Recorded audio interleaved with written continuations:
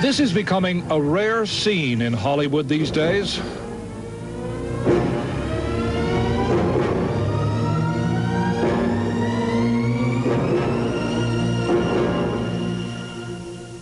Pretty good for a first go at it. Want to take 10? Many Somebody contemporary film composers have opted for the less costly, high-tech versatility of synthesizers.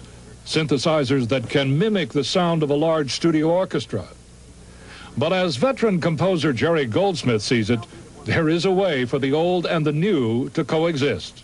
I've been fascinated with electronics for 25 years. But as an adjunct to the orchestra, to me, it's, a, it's, a, it's an additional color on my palette.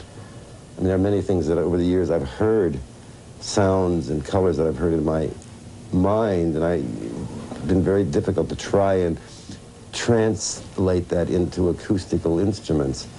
And I guess I was thinking really in that spectrum of electronic sound. I think that a composer to use electronics should understand what they can do. I have these instruments here because when I write for them, I want to know what the sounds are, whether I make them or they come with the instrument. I want to know what it's going to sound like. So many times composer will just write down synthesizer, and then they will get to the recording session and say, oh, well, give me a sound like something weird or something. Well, it's, it's, that's a little strange. Uh, You have to have the idea in your head, at least I do. They're mutating.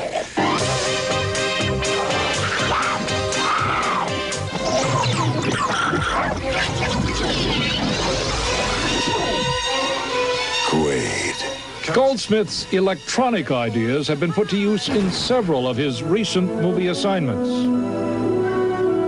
What was the very first film score? The very first film score was a picture called Black Patch, which was a western that George Montgomery starred in and produced. And I was very thrilled to do it.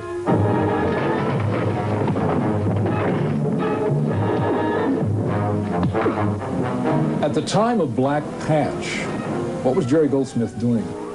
I was under contract to CBS television. I was under contract with CBS from 1952 to 1960.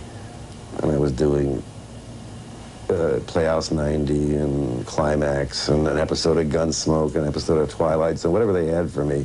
I mean, I was wonderful. I was getting 175 bucks a week and doing three shows a week.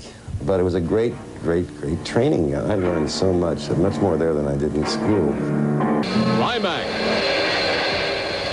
Goldsmith's experience in early television and his keen sense for dramatic scoring make him one of the most sought-after film composers in Hollywood.